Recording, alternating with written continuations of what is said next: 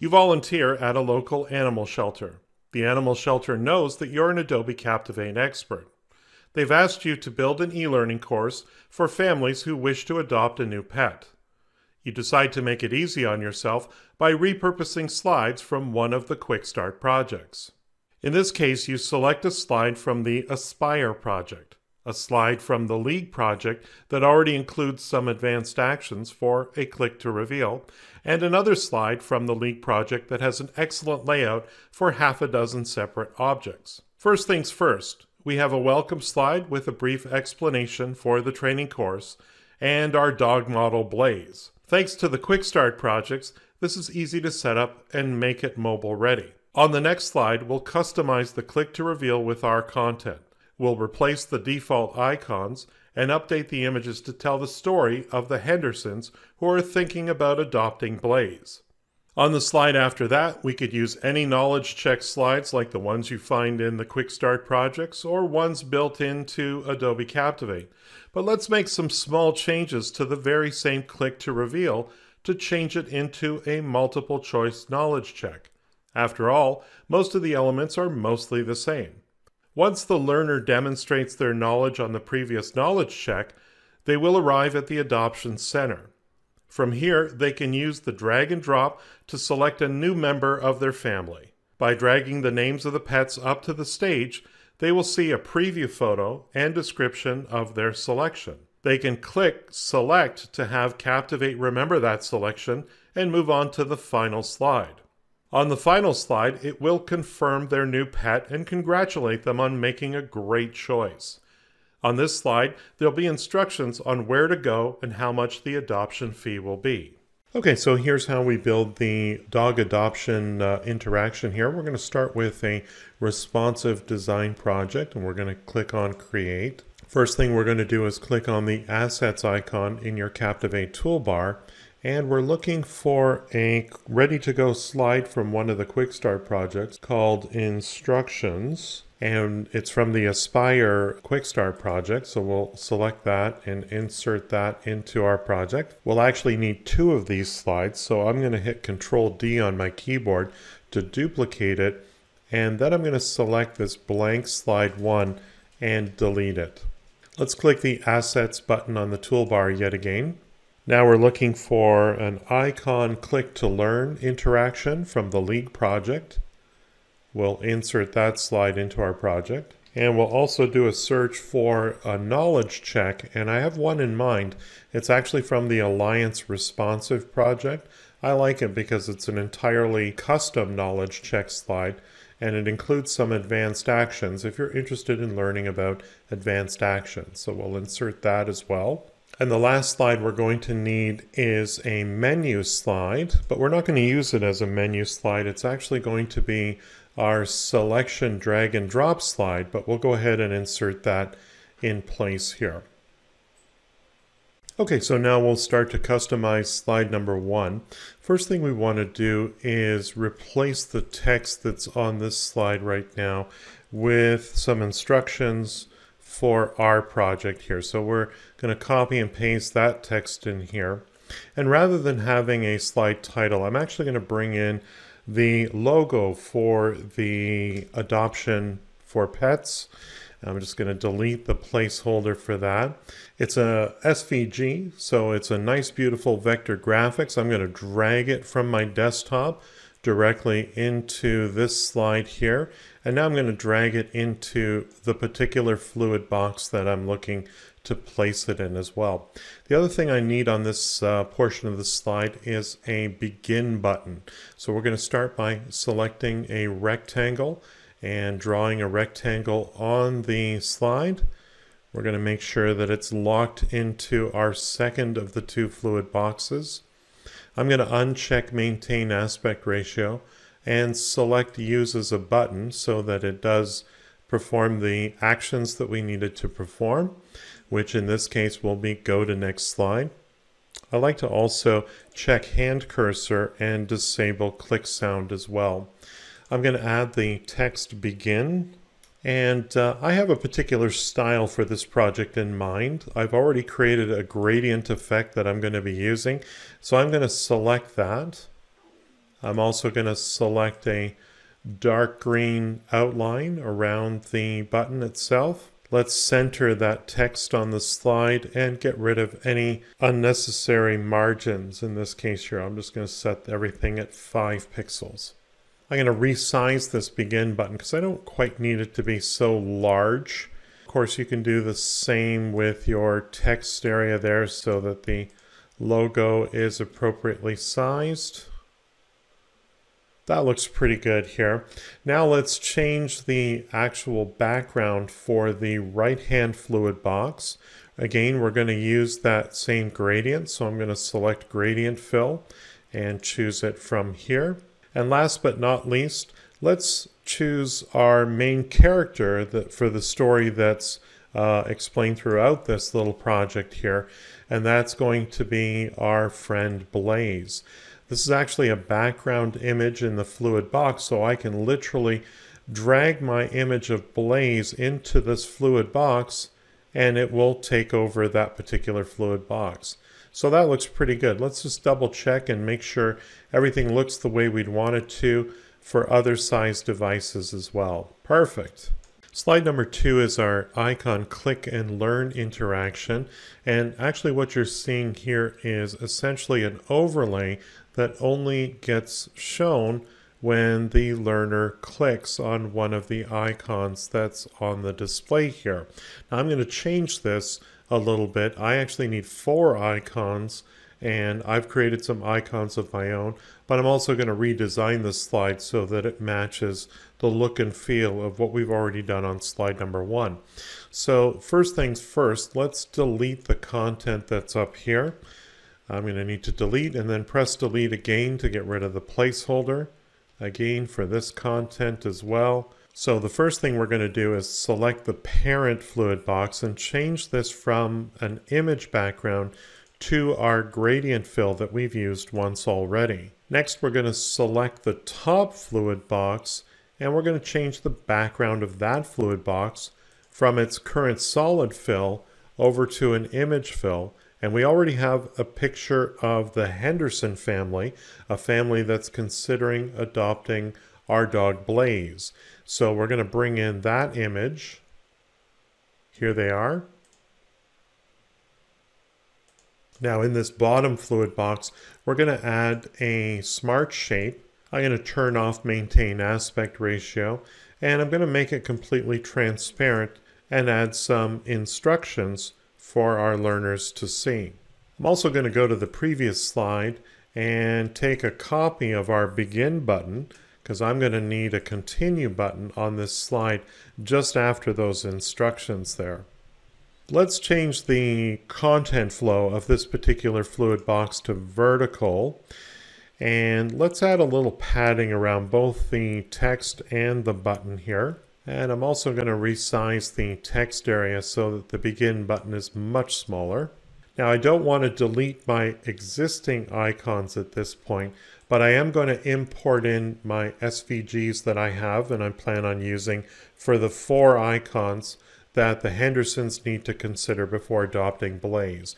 Now I'm going to select all of the icons that I have in this particular fluid box here and I'm going to check use as button because I want the users to click on these. Now the original three icons would change the state of our icon click and learn pop-up but as you can see there's only three of them and we have four so we're going to need to modify it so let's select the grouped object, that is our overlay, and then click again to select just the text within the pop-up. Let's select state view so we can see all of the multiple states. So normal is going to be cost associated with owning a pet. Pop-up 2 will talk about exercise. Pop-up 3 we'll talk about training and we'll paste that text in there.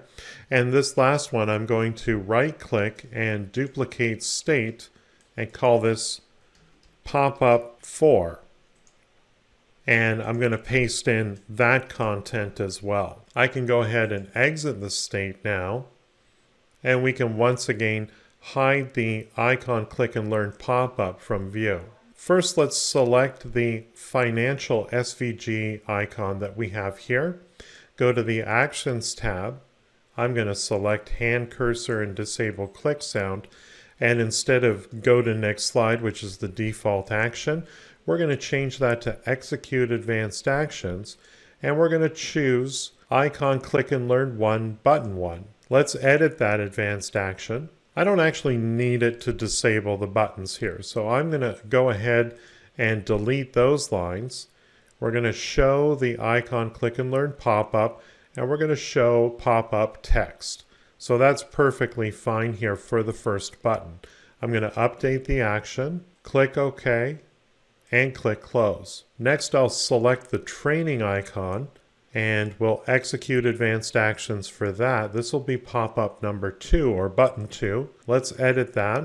So it's going to show the pop-up text, but it's also going to change the state of pop-up text one to pop-up two, which is exactly what we want. And we're going to show icon click and learn pop-up one. And again, we don't need these disable buttons here. So I'm going to delete those, update the action, and close. Similarly, I'm going to set up uh, execute advanced action off of the exercise icon, which is button 3. And we'll also change that advanced action. We'll get rid of the disable commands and we'll update that action. And for the final action, we're going to execute advanced action, but we're going to need a whole new advanced action. But rather than writing it from scratch, I'm going to start with button 3 and make some changes to a duplicate of that action, that advanced action that we have here. So let's duplicate it, give it an updated name, in this case, icon click and learn 1 button 4, and we'll change the state. Everything else will remain the same to pop-up 4, the newly created state that we created ourselves. We'll update that action, click OK, click close. Now we can safely delete the original icons that were there. I'm going to change the horizontal align to space around just to give the buttons a little more space. We're also going to change the padding to 20 pixels horizontal and vertical. So in the grouped object icon click and learn pop-up, you'll notice that there is a small close icon in the upper right hand corner. And there is an advanced action associated with that. You're going to need to make one small change to it. There will be three references to enabling the buttons that are no longer there. They automatically get replaced with continue commands. You're going to want to make sure you delete those if you want the interaction to work properly. Just update the action, click OK, and click Close. One final thing I'm going to do with the image of the Hendersons is I'm going to make sure that it's centered uh, at the top so that uh, we always see Blaze in the shot of the Henderson family. Let's just do a quick little preview with responsive design to see how this looks like across different size devices. I think that looks pretty good. Slide number three is relatively easy to update here. Let's start with this background fluid box here. In this case, we're going to go ahead and change that from an image fill to our gradient fill that we've used throughout this project. Starting on the left, this particular knowledge check title is a multi-state object. It not only contains the title of this particular slide, but when you go into state view, it also provides your overarching feedback, correct or incorrect. I'm going to customize this with my own title and message. So let's go ahead and copy and paste that into this particular object and we'll change the correct caption to something a little simpler. And instead of saying not quite, I'm going to have this message be to try again. Let's exit the multi-state object. Take a look at the question stem here. I'm going to paste in the text that I want it to say. And for the correct feedback, I have some text already prepared for that. And for the incorrect message, Again, I've got some other text ready for that as well. We can go ahead and exit the state now for this object. For this next group of fluid boxes, the first thing I'm going to do is get rid of the background fill and allow my gradient to simply show through. And we're going to select each of these buttons. Using the fill style gradient fill, we're going to apply that same fill effect. We'll make it 100%. And I'm actually going to choose a, a, dark green outline around the button itself there so we can clearly see where the button begins and ends. I'm going to copy the appearance of that button and then paste the appearance of the button on the remaining buttons on this slide. Down here at the bottom, the submit button is on the right. I'm actually going to move it over to this fluid box. And I'm also going to paste the appearance of the button on that as well. In this case, I'll center it. And I'm going to select the parent of these two fluid boxes and distribute them equally because I'm going to make a copy of this submit button and drag it into this second fluid box here. So again, we have two very similar buttons here. This one is actually going to be my continue button and its action will be instead of running the knowledge check advanced action, it's simply going to go to next slide. And we'll change the caption to continue. So there's essentially two types of advanced actions on this page. There's an advanced action for each of my buttons that I've got here, and I'll show you what those look like. When we go in and take a look at knowledge check select one, you'll see that it's assigning a variable with the value of true. That means that this first answer is the true correct answer. I'm actually going to change that to be false. I'm going to update the action, click OK, click Close. I'm going to select the last answer, which I haven't updated them yet, but this will be my correct answer in this case. So we're going to change this to the literal value true. And that's how you change the right answer to a wrong answer and a wrong answer to the right answer. So I'm going to paste in my answers here.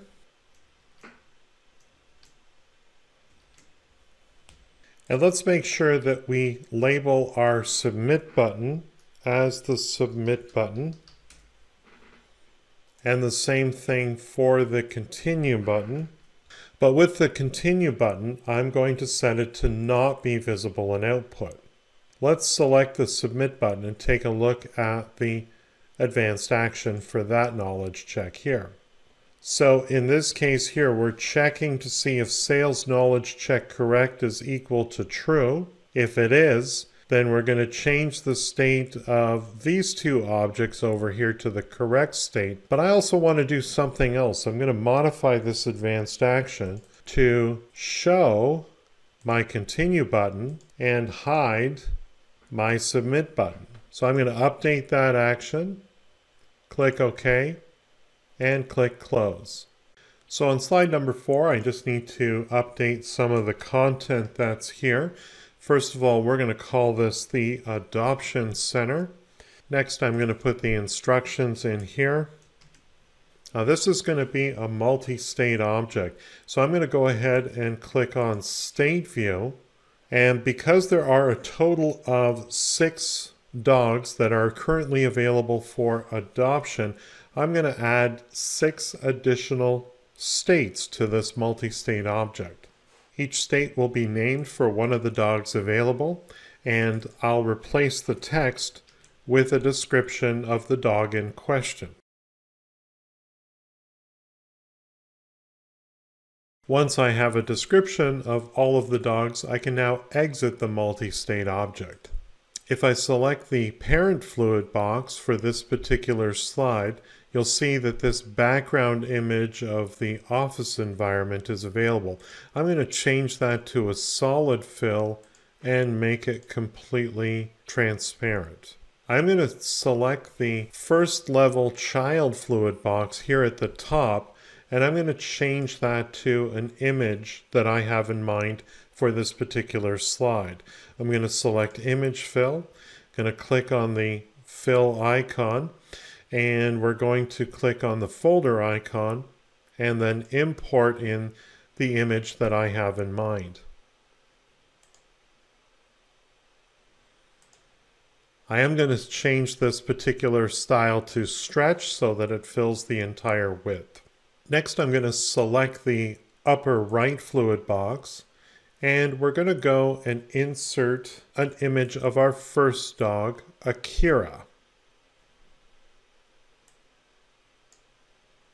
Let's click on State View. We're going to need to make this into a multi-state object.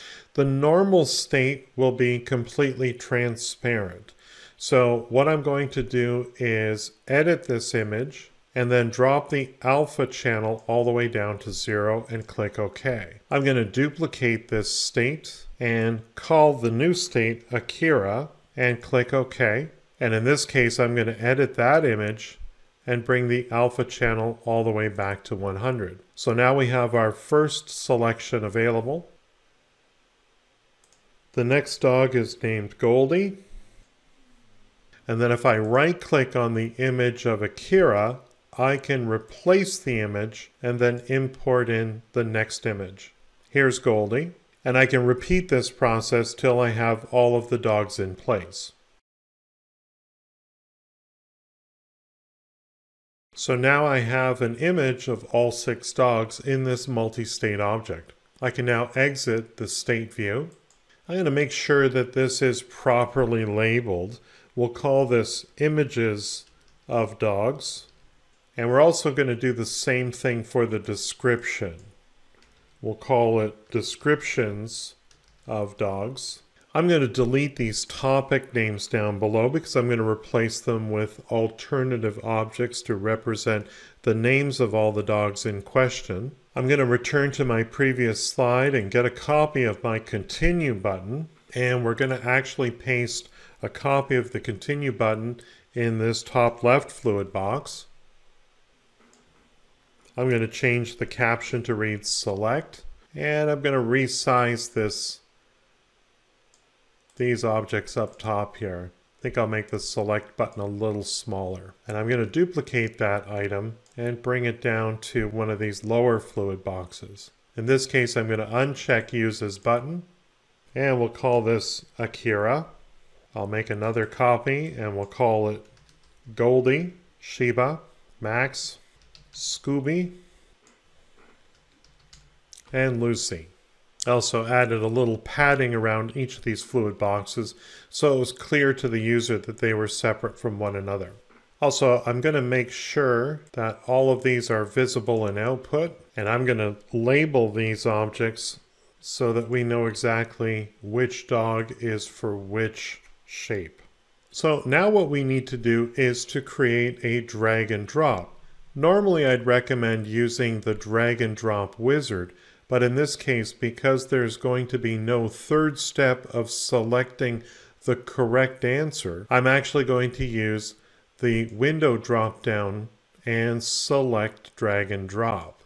We'll start by clicking the plus icon to create a new drag and drop interaction. This will create a submit button, which I'm just going to move down into the lower scrap area. Next, I'm going to select my drop target and click on the drag and drop panel and make sure that it's identified as a drop target. And one by one, I'm going to select each of the dog's names and identify those as drag sources. For my drop target, I'm going to change the size to zero and the opacity to zero and change the position to absolute. What we now want to do is to create some actions associated with dragging each of these objects into the drop target. First, we're going to need to create a variable to keep track of which object has been selected.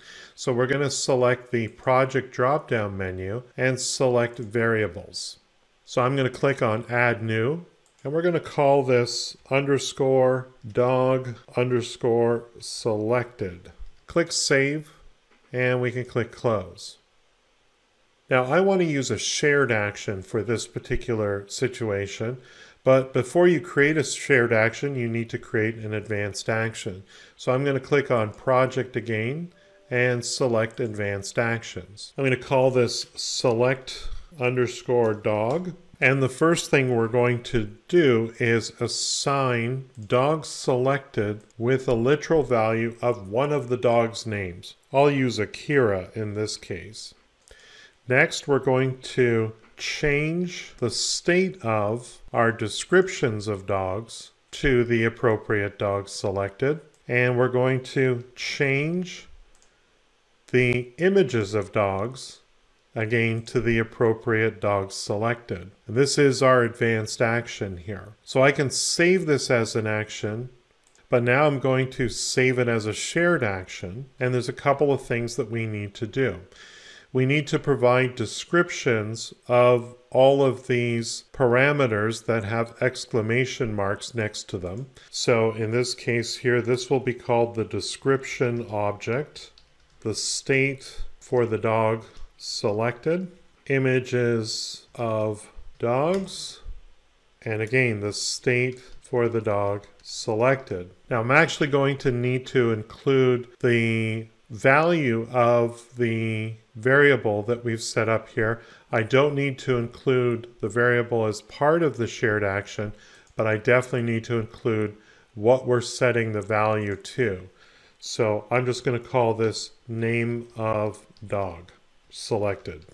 So I can now save this as a shared action, click OK, and click Close. So now what we want to do is click on our Object Actions, and we're going to change the way this drag and drop works a little bit.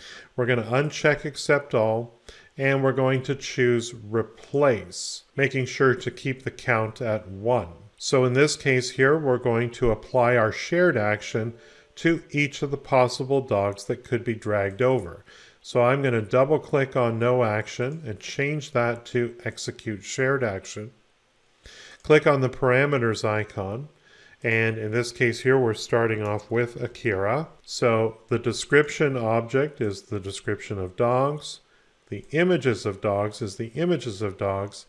And the state that we're selecting is Akira for both.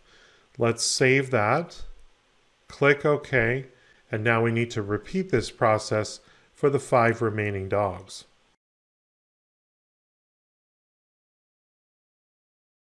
Okay, so now our last one is Lucy.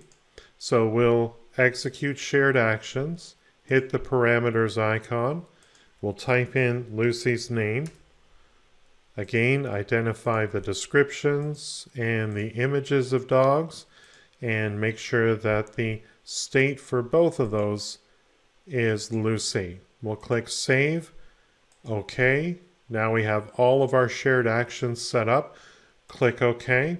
And now we're good to continue. So before I leave slide number four, I'm actually going to copy the multi-state object of the images of dogs because we're going to use that on the following slide. And then we're going to go to slide number five. And I'm going to paste that directly into the left of these two fluid boxes.